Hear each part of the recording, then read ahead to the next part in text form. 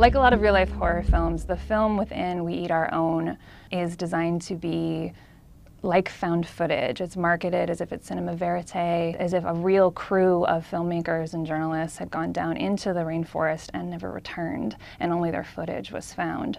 So in the book, the director, Ugo Velluto, is brought up on charges of eventually murder because he can't or won't produce his actors live for the court. And the special effects, if they are special effects, within the film are so convincing that no one can tell whether or not the deaths are real.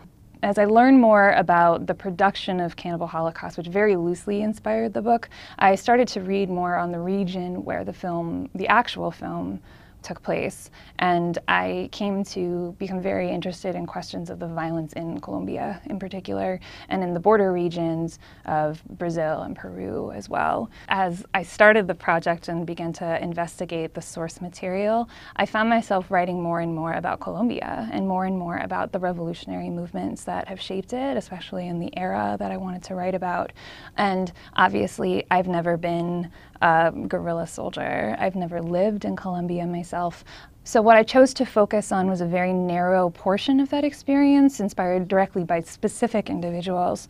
I work at Left Bank Books in St. Louis, Missouri, which has been the most fabulous job for a writer that you can possibly imagine because you're eating and breathing and swimming in books at all times. And, you know, they have celebrated my book and allowed me, given me the space to write it in a way that very, very few other day jobs really possibly can. I can't say how supportive they've been and what a joy it's been to work with them as I continued the book.